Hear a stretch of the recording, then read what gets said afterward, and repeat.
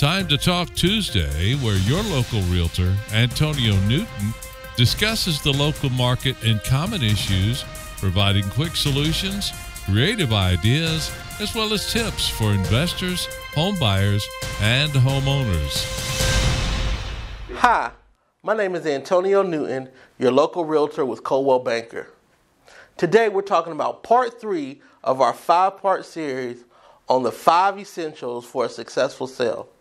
Just as a recap, part one, which is the most important, is price. Part two, which is right behind that, condition. And part 2B, we're calling it three, would be location. As you heard in real estate, location, location, location.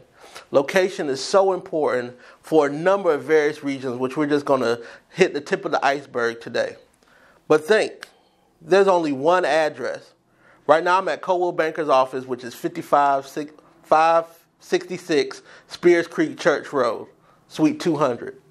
There's only one of those in Elgin, South Carolina, 29045, in the whole world. Your location, there's only one. Even if there's another house just like yours in the same community, they don't have your location. They don't have your plot of land. So location means a number of things. And I'm going to just jot down a few. But location, some of the things to keep in mind, location is going to affect what schools,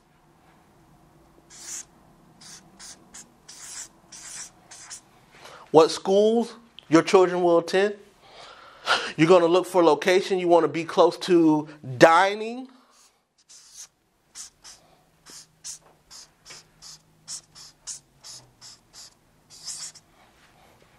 And that also shopping.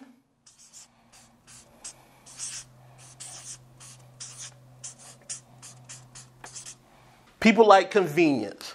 So, how close you are to the interstates. You know, here we have three major interstates in South Carolina Columbia, South Carolina, uh, I 77, I 20, and I 26. Those are three major interstates, and actually, the city of Columbia is right in the heart of all three of them. So, access to those to be able to travel.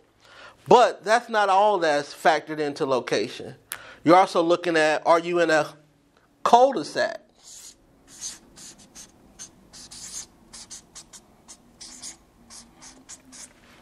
de sac? Cul de sac because they tend to be more private. Sometimes there's going to be a little premium on those houses or on those lots. How big is the lot? Are you on the corner? A corner lot oftentimes is going to have a bigger lot size than those that are not on the corner. What's behind you? Do you back up to another neighborhood? Do you back up to a busy street? Are you on the water? Are you on the Lake Murray? Are you on a golf course? So location has various meanings across. So not only the location in terms of the city and amenities that are around, but the location inside the neighborhood, the schools your kids are going to go to, what it backs up to, the ease of getting out. Some people right now, I had a buyer tell me they didn't want to live in Lake Carolina because of the construction on Hardscrabble. That's a location issue. Because right now, we know how that can be sometimes, and we're not even in school. So keep these things in mind when you're thinking about location, because that's also going to help determine what we said, which is part one of where we need to price at to make sure we price it accordingly. So if you're thinking about selling, please give me a call at 803 608 2597. I love to talk to you about how we can have the right ingredients and put them together so we can make sure that you have a successful sale.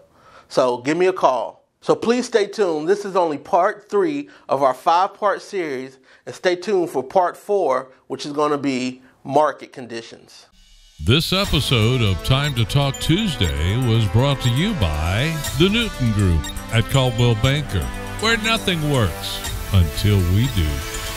Look for our episodes every Tuesday where Antonio Newton discusses the local market and common issues while providing quick solutions, creative ideas, as well as tips for investors, home buyers, and homeowners. If you'd like to reach out to us, we can be reached online and on land at area code 803 608 2597. So until next time, here's wishing you all fair winds, following seas, and gentle tides.